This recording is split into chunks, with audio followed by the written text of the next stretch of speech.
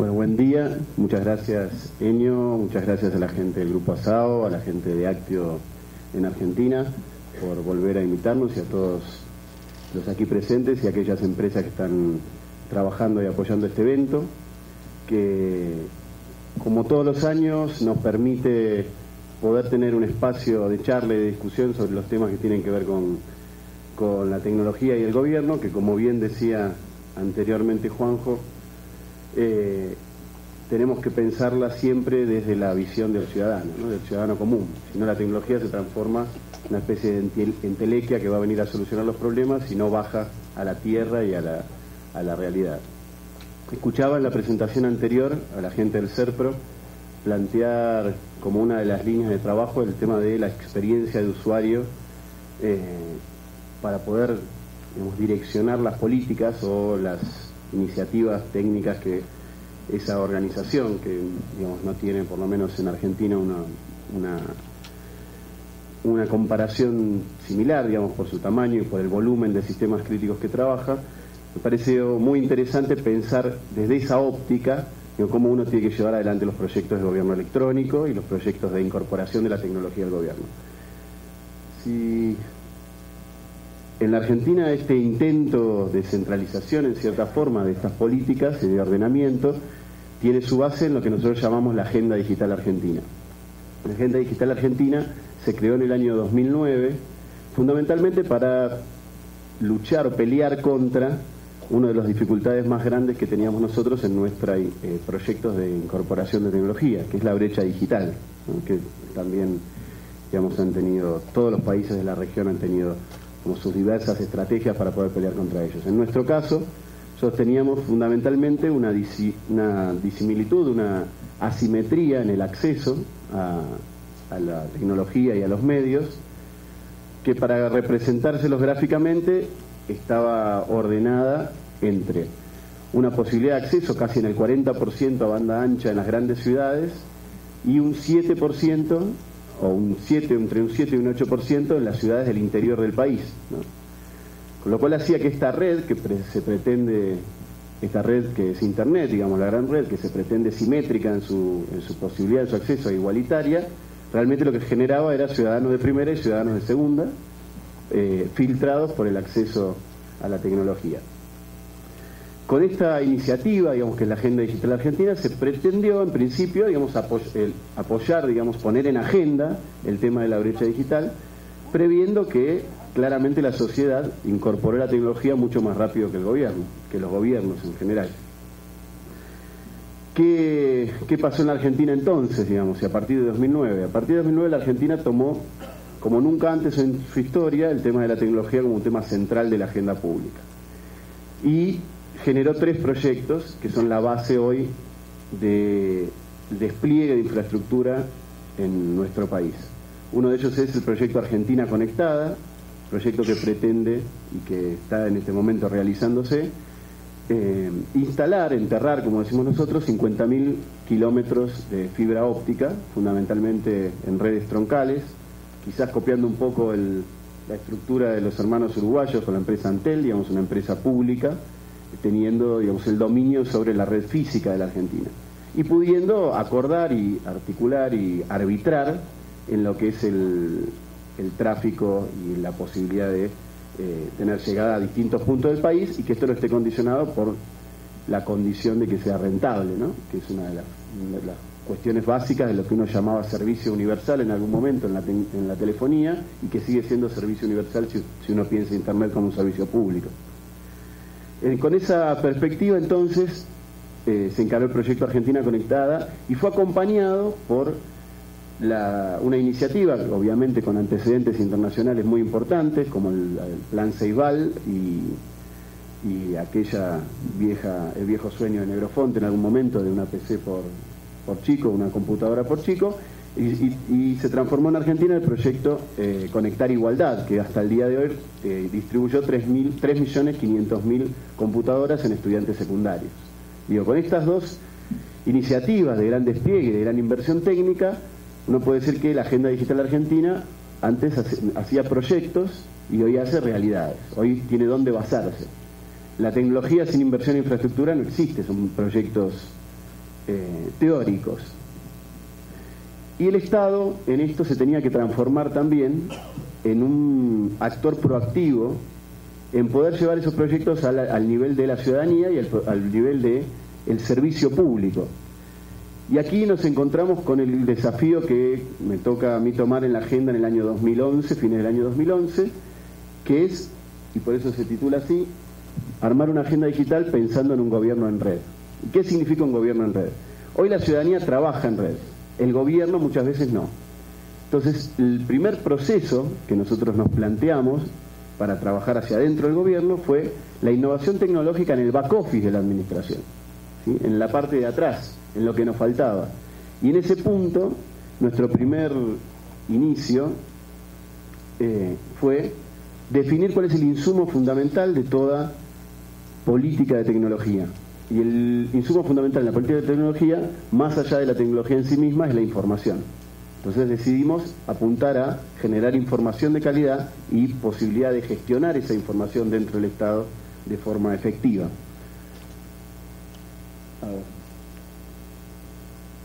Para ello la Agenda Digital Argentina, esto lo voy a pasar un poquito más rápido, me acaban de poner 10 minutos de tiempo, se constituyó en grupos de trabajo que son intersectoriales. Los grupos de trabajo están constituidos por industria, academia y Estado. Y, tienen como producto normativa, software o aplicaciones o herramientas informáticas y estándares. Estos son los, los puntos básicos que nosotros pusimos para poder consensuar el uso de determinadas herramientas, la obligatoriedad en muchos casos de ese uso y la estandarización y la normalización de los datos como insumo para poder compartir información y poder entenderla, los tres principios básicos de la interoperabilidad. Dentro de esos grupos de trabajo entonces definimos temas que son interoperabilidad en la administración pública en sus tres dimensiones, semántica, técnica y, organizacional, que nos permitió que nuestro Estado,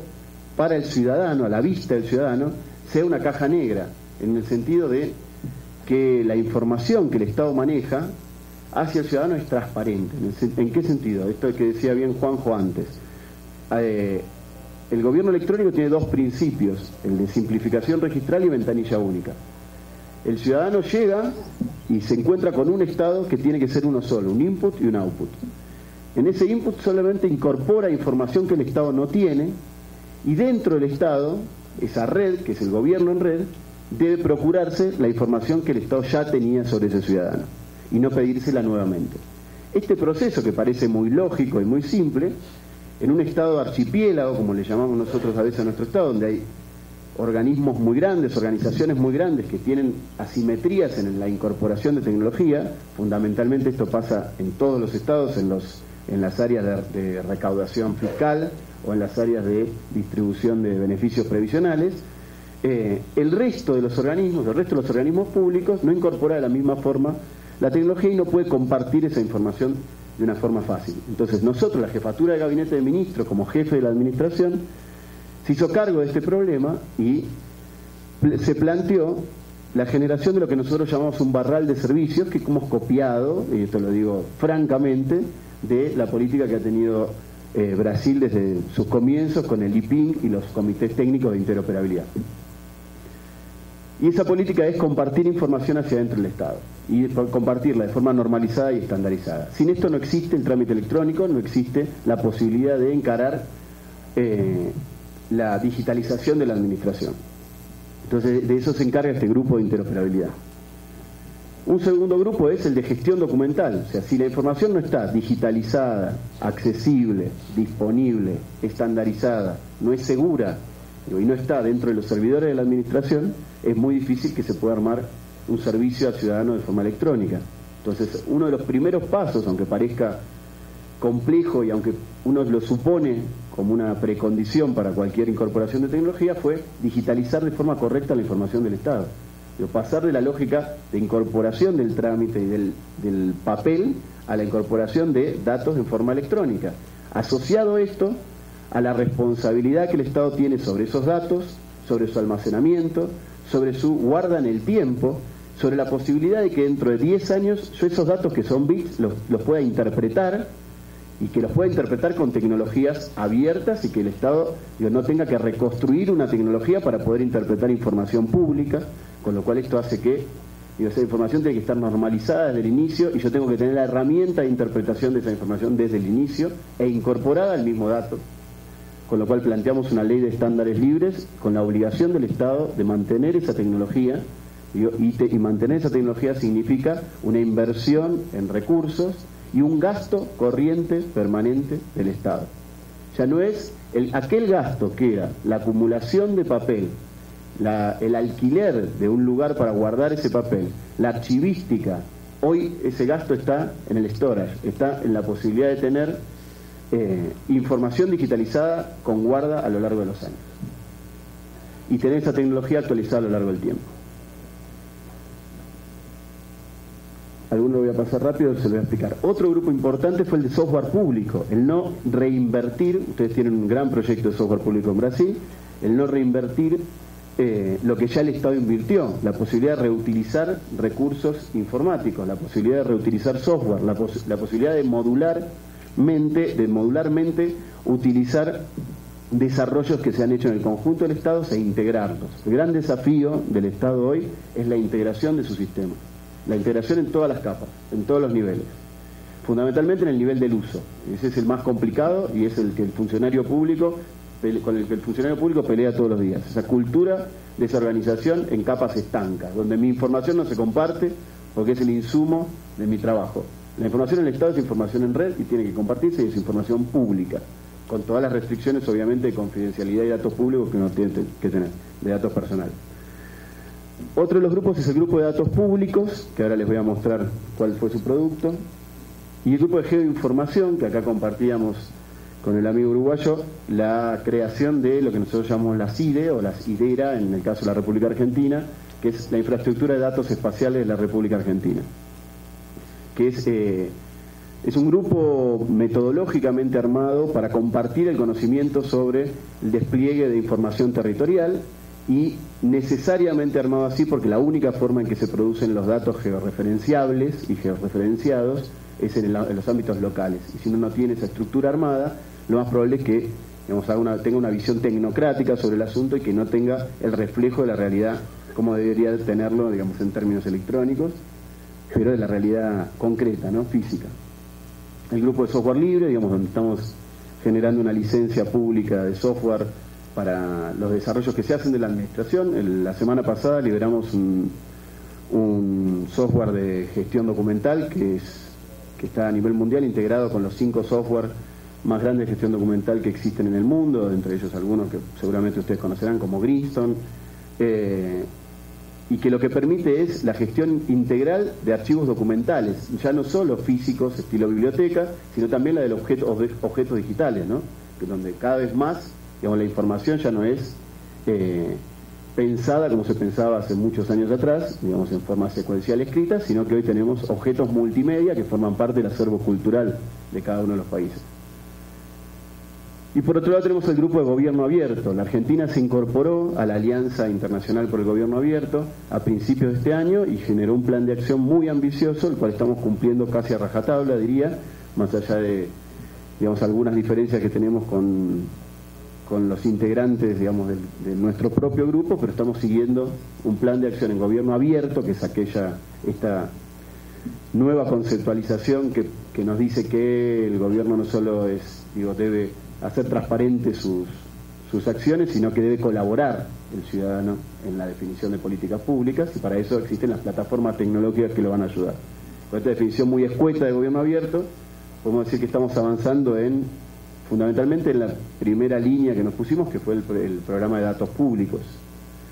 o datos abiertos. Bueno, y uno de los grupos principales que es el grupo de seguridad. No tengo que comentarles a ustedes en este momento cuán crítico es el tema de la seguridad informática, ¿no? Me parece que sería redundar, si quieren podemos charlarlo en la ronda de preguntas, pero estamos en la misma discusión todos los países de la región. ¿Cuánto de nuestra infraestructura crítica y cuando hablamos de infraestructura crítica no estamos hablando solamente de la red, sino estamos hablando de petróleo, estamos hablando de la minería, estamos hablando de la energía, estamos hablando de cómo hoy tenemos y hemos tenido, digamos, lo que no solo ataques informáticos, sino filtraciones de información que son que, son contrarias a la lógica soberana de los estados. Entonces, bueno, esto es una discusión que obviamente se ha acrecentado en el último tiempo, pero que se viene llevando hace, hace mucho tiempo adelante. Contenidos públicos, sigo, bueno, la misma lógica de datos públicos. Y como les decía, bueno, estos son algunos de los productos que hemos obtenido. Me debe quedar medio minuto, ¿no? Más o menos, medio minuto. Bien, bien. Eh, les decía, bueno, les, describí el, barral de servicio central, voy a pasar directamente a los productos más interesantes. El portal de, software público. Bueno, en este portal hoy tenemos eh, más de 200 soluciones y 1000 usuarios, habiéndolo inaugurado el día 8 de mayo de este año, con lo cual tenemos un alto éxito en términos de la comunidad que se desarrolló alrededor del portal de datos, del portal de software público y con iniciativas ya regionales. Estamos compartiendo software con Bolivia, obviamente compartimos software con el proyecto de software público Brasil, porque lo venimos haciendo hace muchos años y de hecho nos hemos basado mucho en el trabajo que han tenido aquí. Quizás tiene una estructura muy distinta a la como se pensó, como se pensó en Brasil, nosotros lo, tenemos muy asociado a la industria del software, la Cámara Argentina del Software y las cuatro otras cámaras que conviven en la Argentina y que, y que llevan adelante las políticas de desarrollo de software.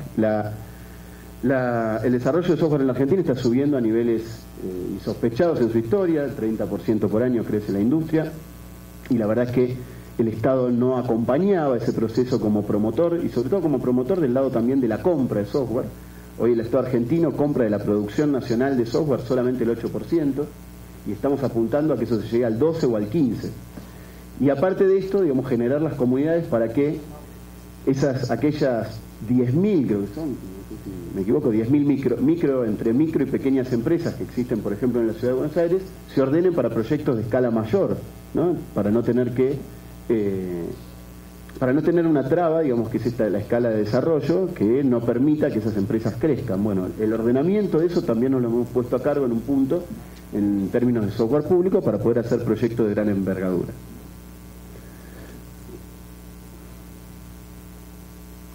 Bueno, como les decía antes, tuvimos la posibilidad de entrar a la Open Government Partnership, que es la alianza de gobierno abierto, y seguir el plan de acción, que ahora les voy a mostrar algunos de los productos. Para ello iniciamos nuestra, nuestra política de gobierno abierto planteando un hackathon, o sea, esta reunión de desarrolladores más analistas que permitiera explotar los datos públicos que pusimos a disposición en el primer portal de datos públicos de la Argentina que es un portal donde hoy existe información de gobierno en más de 250 sets ordenados con las condiciones que prevén los datos públicos, que es que los datos sean publicables, que sean explotables a nivel máquina, que sean sistematizados, actualizados, que las áreas sean responsables de esos datos, esto lo agrego, la, la, verdad número 9, aunque son 8 en realidad, eh, que, que no sean datos propietarios y que sean datos no licenciados, ¿no? Digo, porque esto es precondición para su acceso público. De ese hackathon surgieron varias aplicaciones y, posibilidades de visualización de datos de gobierno que se vieron plasmados en lo que es portal que los invito a verlo, hoy no vamos a tener ni tiempo para hacerlo, pero digo, donde van a encontrar la posibilidad de que no solamente de ver el dato duro, que es algo que para ámbitos de investigación, académicos, inclusive para para la industria, digamos, es importante, sino digo, la, posibilidad de ver cómo está pensado este ecosistema, que en realidad lo que hace es eh, cortar ese o, achicar ese costo de oportunidad que tiene todo el ámbito, digamos, que va a explotar esos datos públicos para poder acceder, por ejemplo, a herramientas de geomarketing, a, herramientas de actualización en términos de eh, indicadores económicos, etcétera.